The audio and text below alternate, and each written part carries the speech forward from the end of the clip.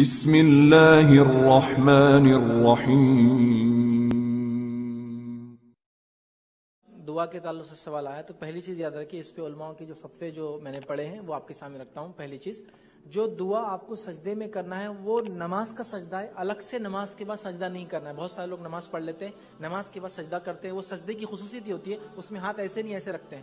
یوں کر کے سجدہ کرتے ہیں، ہاتھ اوپر رکھے اور پھر دعا کرتے ہیں۔ جو دعا سجدے میں کرنا ہے وہ نماز کا سجدہ ہے۔ نماز سے ہٹ کر سجدہ نہیں یاد رکھی ٹھیک تو پہلی وضاحت یہ کہ وہ نماز کا سجدہ ہے۔ آپ نفل نمازوں کے اندر یہ کام بہت آسانی سے کر سکتے ہیں، ٹھیک ہے؟ نفل نماز میں آپ سجدے میں، سجدے کی حالت میں نفل کا آپ آخری سجدہ چن لیں گے، آخری سجدے میں کروں گی تاکہ اس کے بعد یہ کروں گا، فائدہ ہوتا ہے سیدھا۔ تو نفل نماز کے سجدے میں کرنا ہے، اس کی تصویحات پڑھنے کے بعد آپ کو دعا کرنا ہے۔ کیا یہ دعا دوسری زبان میں کی جا سکتی ہے؟ اس کے تعلق سے بہت سارے مفتیان کے فتوے جو یہ ہے کہ ہاں آپ اپنی زبان میں یہ کام کر سکتے ہیں۔ اس کا جواز بہرحال موجود ہے۔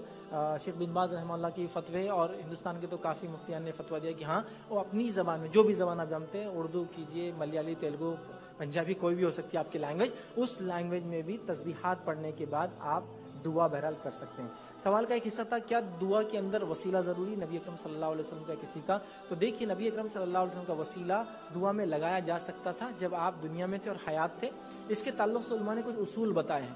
نبی اکرم صلی اللہ علیہ وسلم کی زندگی میں لوگوں نے آپ کے وسیلے سے دعا کی، لیکن آپ کی وفات کے بعد، انتقال کے بعد ایسی دعائیں کرنا کہیں بھی ثابت نہیں ہے۔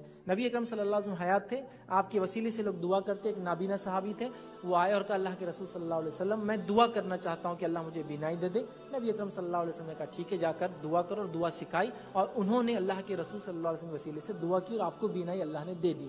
لیکن آپ صلی اللہ علیہ وسلم کے دنیا سے جانے کے بعد عمر ابن خطاب رضی اللہ عنہ کے دور میں ایک واقعہ ہوا، بارش نہیں ہوئی۔ آپ نے عباس رضی اللہ عنہ کو بلایا اور دعا کی، اے اللہ، جو ہے، جب تیرا نبی ہم میں زندہ تھا، ہم اس کے وسیلے سے تجھ سے دعا کرتے اور تو بارش کو جو ہے برساتا تھا۔ اب تیرا نبی ہم میں باقی نہیں رہا۔ لہٰذا میں جو ہے عباس کے وسیلے سے تجھ سے دعا کرتا ہوں اور بارش ہوئی۔ تو پتہ چلا جب نبی اکرم صلی اللہ علیہ وسلم تھے، آپ کے وسیلے سے دعا کرنا درست تھا۔ اب درست نہیں ہوں گا۔ ٹھیک ہے؟ اب درست نہیں ہوں گا۔ ہاں جو نبی سے محبت ہے، محبت ایک شرعی عبادت ہے، یاد رکھیے، جو نبی سے ہوتی ہے، وہ وسیلے سے کوئی کہہ لے کہ اللہ، جو نبی سے تجھ کو ہے نبی سے مجھ کو محبت ہے، اس کے وسیلے سے وہ تو جائز ہوں گا۔